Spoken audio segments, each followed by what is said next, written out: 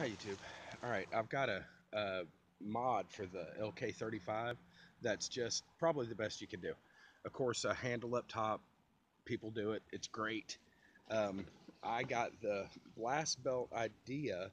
This particular, I think the link was sent to me from John at Bluegrass Bushcraft. But check this out, okay? See these little, see these little hooks? Right? I mean, these little loops that are made into the frame. You could put a belt to go from there around to make like a compression strap system. But what I did was I sewed, um, if you can see this, I actually took a belt, like a belt that you would wear, and I cut it in half and I sewed it around the frame and ran it around completely. And get some of these straps out of the way. I'm trying, trying to keep this where you can see it. Ran it completely around so that anything that you could put on a belt you can put on this belt and it's a compression strap for your backpack, but it also holds pouches and extra gear and stuff. So let me, let me just kind of maybe put it on. So I can kind of give you an idea. All right. Now y'all are behind me, I can't see. So can you see this? How I've got the just extra gear on there. That way, this pouch that I sewed on M MCQ Bushcraft, I got the idea of sewing a pouch on. Oh, it's on this side. Sorry. I got that idea from MCQ Bushcraft to sew this pouch on. But, you know, it's sewn on, it's not removable. So by doing the belt, you can literally add whatever you want and remove whatever you want. So let me just point this down. Uh, I think I'm in frame. Okay, so I'm just gonna add some ridiculous amount of stuff here.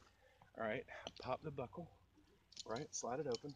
I've already got a couple of pouches here, so, oh, I don't know. Let's say I'm gonna put my big machete on here. I love this machete.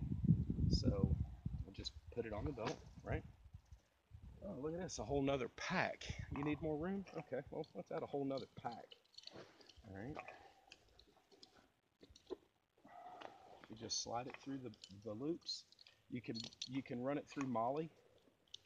Um, most of us already know how to set your MOLLE up to just be a belt loop, and then you just put it on and lock it. It's locked. I've, I've added a whole nother backpack. Can y'all see that? All right, so just to kind of give you an idea, I'm gonna bring you back up.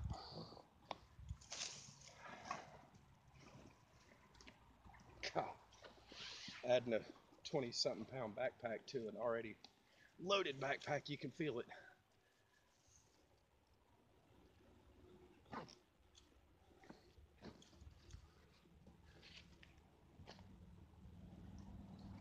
Okay.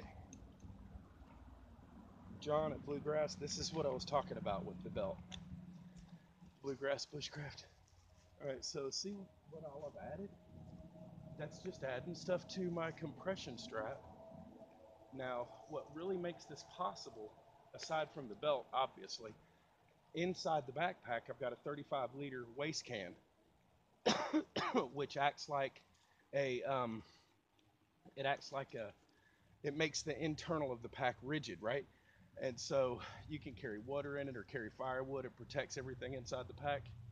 And you can see I've added just all kinds of gear to it. I've got a knife up here somewhere. I mean, I can't even, I'm out here just kind of in my yard showing you. So here's a knife that I added, a small pouch, a whole, a whole nother backpack, just to show how ridiculously much you could put on it. Um, water bottle, canteen kit, um, two-handed cold steel machete. I've got a video on another channel where I went through a 2x4 in like two hits. That thing is just awesome. You could put anything that goes on a belt on there, including MOLLE gear. All right, guys, thanks for watching.